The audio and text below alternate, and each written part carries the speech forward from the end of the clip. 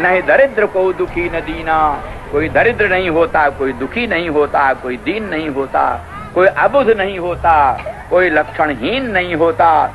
सब नर कर परस्पर प्रीति चल स्वधर्म निरत श्रुत नीति। सब लोग परस्पर एक दूसरे के पोषक होते हैं, कोई किसी का शोषक नहीं होता। सब एक दूसरे का रक्षक होते हैं, कोई किसी का भक्षक नहीं होता। सब एक दूसरे के शुभ चिंतक होते हैं, कोई किसी का अशुभ चिंतक नहीं होता। सब एक दूसरे के पूरक होते हैं। सामंजस्य, सामनस्य और ऐकमत्य की स्थापना ही मुख्य रूप से उत्तम शासन का लक्ष्य बाघ बकरा एक घाट पानी पिए, चूहा बिल्ला का आपस में मेल जोल हो जाए हुँ? और सांप और न्योले में भी बैर मिट जाए ये उत्तम शासन का लक्षण है।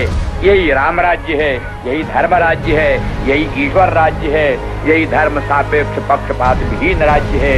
यही राज्य का वेदों में वर्णन है, रामायण में वर्णन है, महाभारत है, यही राम राज्य है, यही धर्म राज्य है।